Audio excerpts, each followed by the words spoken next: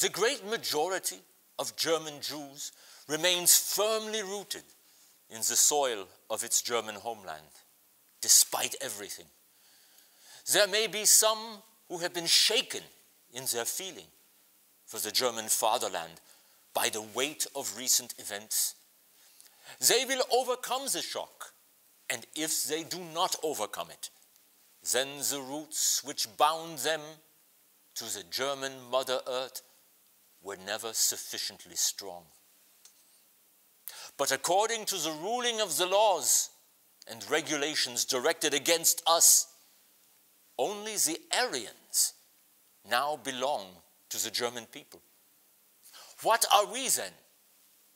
Before the law, we are non Germans without equal rights.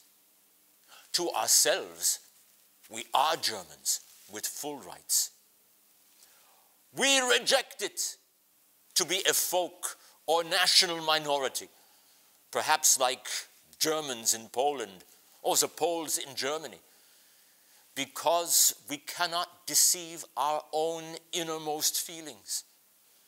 We wish to be subject as Germans with equal rights to the new government and not to some other creation, whether it is called League of Nations or anything else.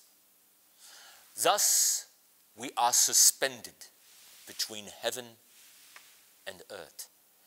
We will have to fight with courage and strength in order to get back to earth in the eyes of state and law too. At a time that is as hard and difficult as any in Jewish history, but also significant as few times have been, we have been entrusted with the leadership and representation of the German Jews by a joint decision of the State Association of the Jewish Communities. The major Jewish organizations and the large Jewish communities of Germany.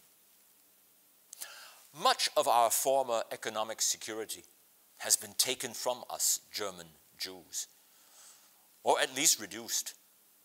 Within the area that remains to us, the individual must be drawn away from his isolation. Occupational connections and associations, where permissible, can increase existing strength and give support to the weak, can make experience and contacts useful for all. There will be not a few who will be refused a place of work or the exercise of their profession on German soil. We are faced by the fact, which can no longer be questioned or opposed, of a clear historic necessity to give our youth new living space. It has become a great task to discover places and roads as on the sacred soil of Palestine, for which providence has decreed a new era. As everywhere, the character, industry, and ability of the German Jews can prove themselves, robbing none of their bread, but creating a livelihood for others.